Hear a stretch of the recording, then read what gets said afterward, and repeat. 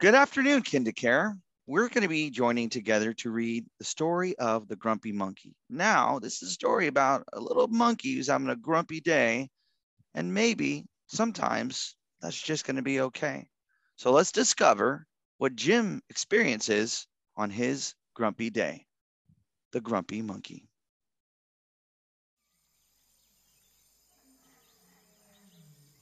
One wonderful day, Jim Panzee woke to discover that nothing was right. The sun was too bright, the sky was too blue, and the bananas were too sweet. Jim was confused. What's going on? Maybe you're grumpy. Suggested Norman from next door. I'm not grumpy. Jim insisted. On his walk, he met Marabou. Jim's grumpy. Norman told Marabou. Why are you grumpy, Jim? Asked Marabou. It's such a wonderful day. Grumpy? Me? I'm not grumpy. Jim said. But look at how you're standing. Marabou said. It's true. Said Norman.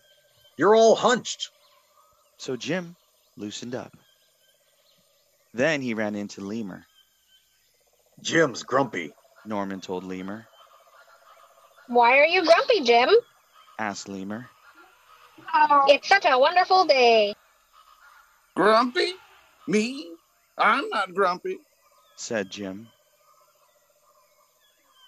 Your eyebrows look grumpy. Said Lemur. It's true. Said Norman. They're all bunched up. So Jim raised his brow. Then he tripped over Snake. Oh no! Said Norman. That's the last thing you need when you're feeling so grumpy. Grumpy? Me? I'm not grumpy. Said Jim. Then why the frown? Said Snake. I think it's because he tripped over you. Norman whispered to Snake. So Jim put on a smile.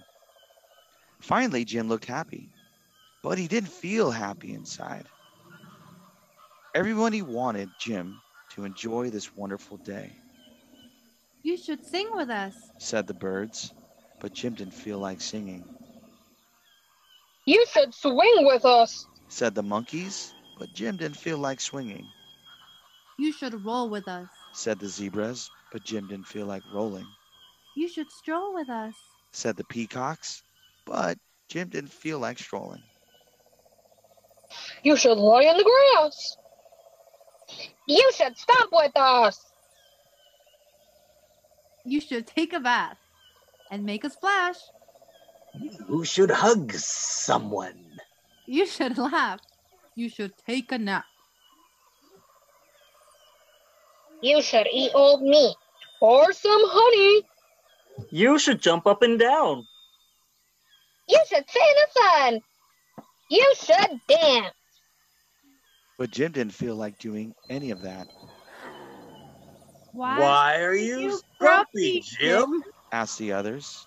It's such a Such a wonderful, wonderful day. Day. I'm not grumpy. Shouted Jim as he beat his chest. And he stormed off. Jim felt sorry, a little sorry for shouting at everybody, but mostly sorry for himself. I guess I am grumpy. Jim sighed, and just as he was starting to feel really sad, he came upon Norman. Norman was slumped. His eyebrows were bunched up, and he was frowning. What's the matter?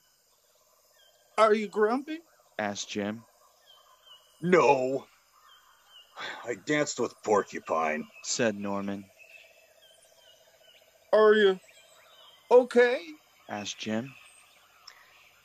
It hurts, but I'll probably feel better soon enough. Said Norman. Are you still grumpy? Yes, Said Jim. but I'll probably feel better soon enough, too. For now, I need to be grumpy. It's a wonderful day to be grumpy. Said Norman. Jim agreed. And he already felt a little bit better.